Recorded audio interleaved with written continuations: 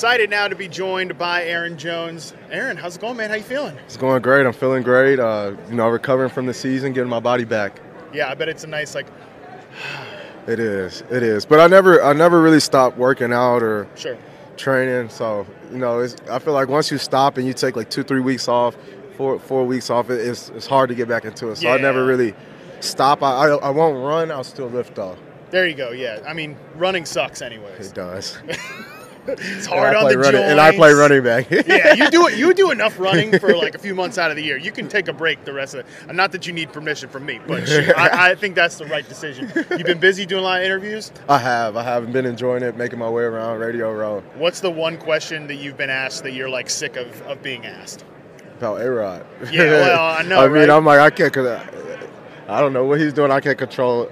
I mean, he's going What's into like his dark retreat or whatever. What? Do you, Mhm. how would you know what to say? I mean, it's like enough already. Yeah, I don't. I mean, I don't. I give him the space, you know. Uh, let it, let him do him, and when he's ready, I've been asking everybody that so that you know, I don't ask you the question that you're not asking. So that's the last time we'll talk about Aaron Rodgers. hey, that's a that's a great way to do it. hey man, I let you guys dictate this a little bit. Uh, you, you get asked the same thing every day. What's uh, Ja'Marr Chase said earlier? He's like, I'm sick of people asking me about like what's my relationship with Joe Burrow. Watch the games. That's my relationship. So, you know, it's like it's good to hear what you guys don't want to talk about, but you are here um, with us today to talk. You know, just basically talk about the what, what, what- talk about this whole thing. I mean, this season for the Packers was an interesting one. I feel like offensively, you guys transitioned a little bit. Um, you know, previously it's all about the passing game with Davante and Aaron. I feel like you guys kind of became a little bit more of a defensive-centric running game team later in the season, and that sort of springboarded you guys to a little bit of run to the end there.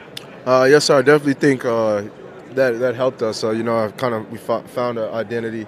Like you said before, we we had always been like a pass first team, and uh, with us having like a n- newer core like receivers and things like that, we knew it would take time.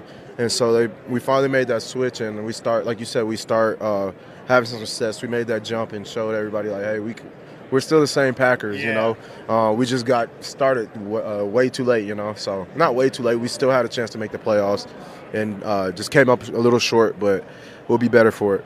You lost to a good Lions team there at the end. I mean, that's a team that's definitely on the come up. You got a former teammate there, Jamaal Williams. Um, it's funny, you know, I knew about Jamaal for you know years when he was with the Packers, stuff like that. But he it feels like he had like sort of a national sensation breakout this year. Now, like everybody's talking about Jamaal Williams. What was he like as a teammate uh, early on in both your careers? Uh, he's not. I wouldn't even call him a teammate. I call him my brother. Yeah. Uh, we our families are super close. Uh, we did an interview yesterday together. That's um, awesome. So that's my uh, that's always gonna be my brother.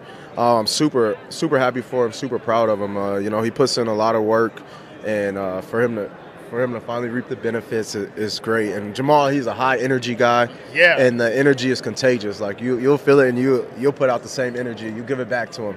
Uh, and so I, I love I love playing with Jamaal.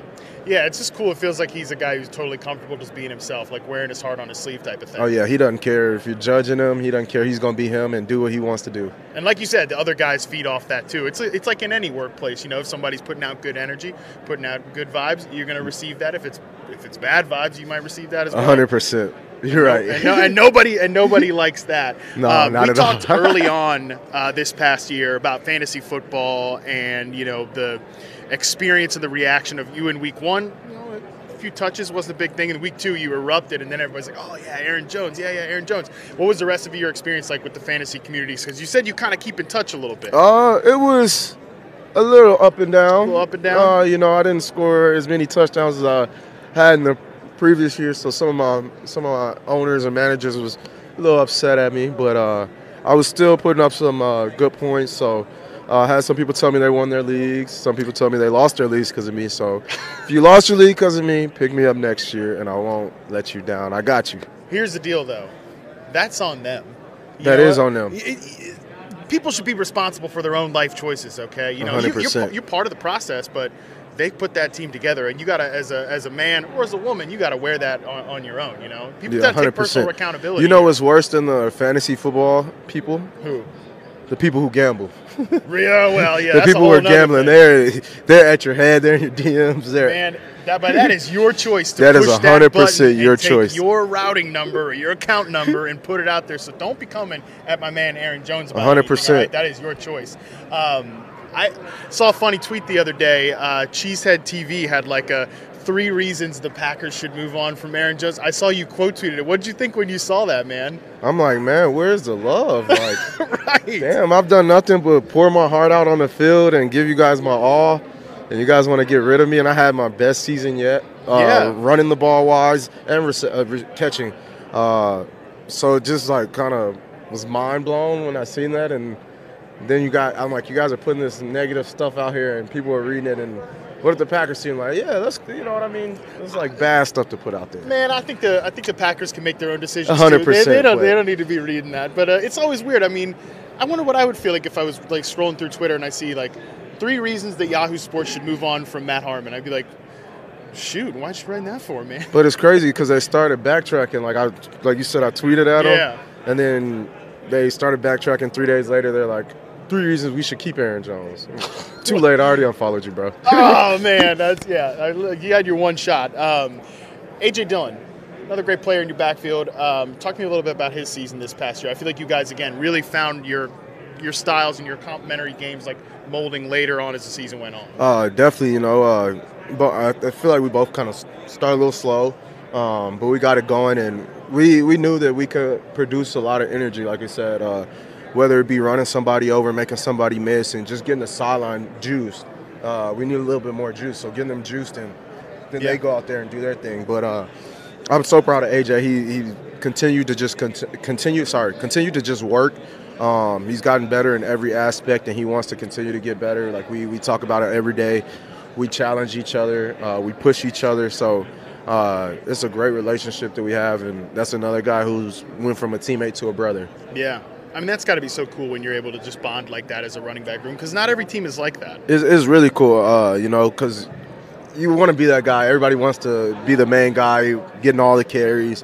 But uh, when you have somebody who's just as capable, and uh, you know when they're in the game, it's no letdown, then you're you're okay with it. And we're winning, and we're all having success. And you know that that'll push your career longer, uh, splitting time, things like that. 100% makes keeps you fresh and makes you more explosive when you do get those touches. Last thing I got for you here, uh, again, I'm not going to sit here and ask you like, what do you think is going to happen with Aaron Rodgers? All that, that stuff. I have I'm not, no clue. I'm not, gonna, not going to do it. I'm not going to do it because that's what we said off the top. But I did mention his, uh, you know, the the dark retreat, that whole thing. Um, what do you like to do in the off season to decompress? If you don't, lo- I mean, maybe you do lock yourself in a dark room. Oh no, four I don't days. like myself in the I, I don't. I'm not doing that, but I like to hang out with my family, uh, hang out with friends, go out every once in a while. You know, I don't, I don't go out during the season. I just, I'm very homebody, facility home, facility home. So go out every once in a while. Uh, get on some water. Lo- love water, so love being in water. Get, get, go to the beach or yeah, I was going to say beach, lake, lake, uh, pool. Yeah, I love, I love those three. So get, get finally, I mean not finally, definitely got to get to some water. 100%. Uh, that's why I'm down there in Miami training. I love Oh the yeah, water. well, hey, that's a good place, good weather Great to do it. place. Aaron Jones, appreciate your time, man. You're awesome. Always, y'all for having you- me. You're always welcome here. There will never be three reasons to, to move on from Aaron Damn, Jones that's here. love. That's love. Appreciate you, man. Thank you.